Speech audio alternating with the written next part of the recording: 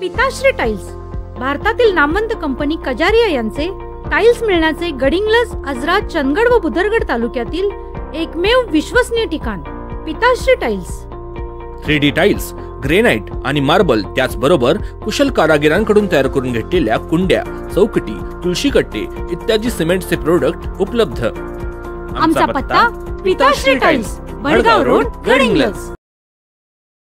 गड इंग्लज कृषी उत्पन्न बाजार समितीची आर्थिक परिस्थिती अत्यंत बिकट असल्याने संस्थेची निवडणूक बिनविरोध करण्याकरिता महाराष्ट्र राज्याचे उच्च व तंत्र शिक्षण मंत्री चंद्रकांतदादा पाटील कोल्हापूर जिल्ह्याचे नेते माजी मंत्री आमदार हसनसू मुश्रीफ माजी पालकमंत्री आमदार सतेज पाटील खासदार संजयदादा मंडलिक खासदार धनंजय महाडिक भाजपचे जिल्हाध्यक्ष राजेश समरजित सिंह घाटगे माजी आमदार श्रीपतराव शिंदे ठाकरे शिवसेनेचे जिल्हाप्रमुख विजयराव देवणे यांनी केलेल्या सूचनेच्या अनुषंगाने चंदगड विधानसभा मतदारसंघाचे आमदार राजेश पाटील व माजी मंत्री भरमुअण्णा पाटील यांनी भारतीय जनता पक्ष राष्ट्रवादी काँग्रेस राष्ट्रीय काँग्रेस जनता दल ठाकरे शिवसेना व शिवसेना शिंदे गट या सर्वच पक्षांच्या उमेदवारांना सामावून घेऊन राजर्षी शाहू शेतकरी विकास आघाडी.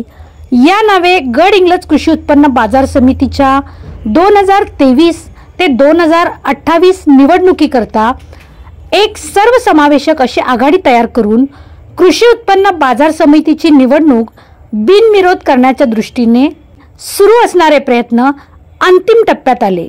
आज पंधरा जागांची निवडणूक बिनविरोध करण्यासाठी जागेचे वाटप निश्चित झाले.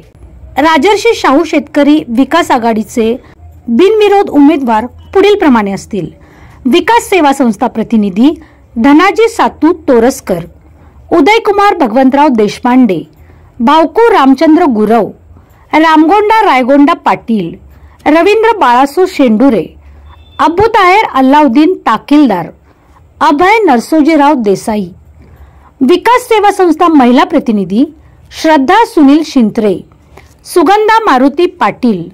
विकास सेवा संस्था भटक्या विमुक्त जाती जमाती पांडुरंग नाईक.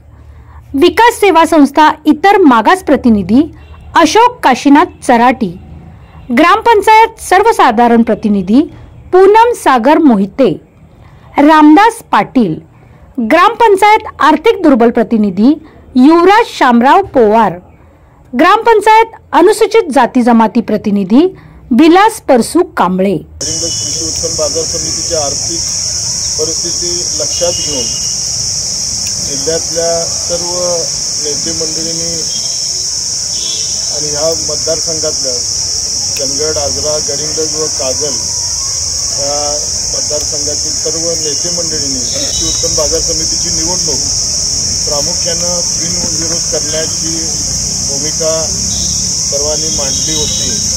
माघारीच्या शेवटच्या दिवशी राजश्री शाहू शेतकरी आघाडी निश्चित करणार आहोत. सर्व मंडळींनी यामध्ये सामंजस्याची भूमिका घेऊन आपापल्या पक्षाच्या कार्यकर्त्यांना त्यामध्ये सूचना करून ती निवडणूक कशा तऱ्हेनं बिनविरोध करता येईल त्यासाठी मोलाचं सहकार्य त्यांनी सर्वांनी केलेलं आहे. ते आज महाविकास आघाडीसोबत आमच्यासोबत होते.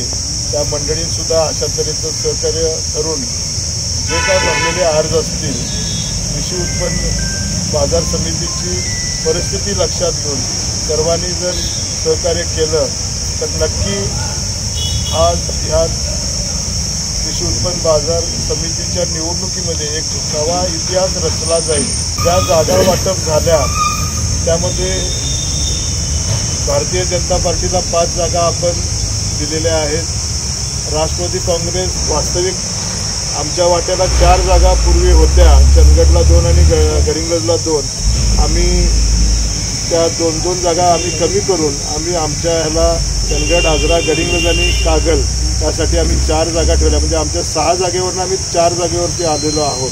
राष्ट्रीय काँग्रेस आदरणीय बंटी साहेबांनी सुद्धा अपेक्षा व्यक्त केल्या होत्या.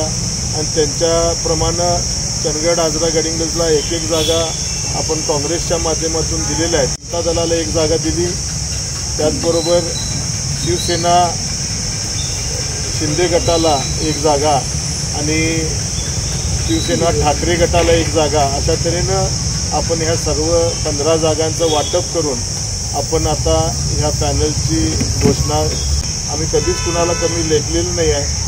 प्रत्येक उमेद हा उमेदवार हा तेवढ्याच तोडीचा अस- असणार आहे. पण अडचणी पंधरा जागा आणि गट जास्त किंवा पक्ष जास्त असे असल्यामुळं त्यामध्ये आपल्याला हे समावेश करताना तारेवरची कसरत माझ्यासारख्या एक सामान्य कार्यकर्त्याची झाली आणि त्यामुळं कुणी समज गैरसमज माझ्या बाबतीत न करून घेतात तुम्ही सर्वांनी मला अधिकार दिला म्हणून मी हे प्रयत्न केलेत.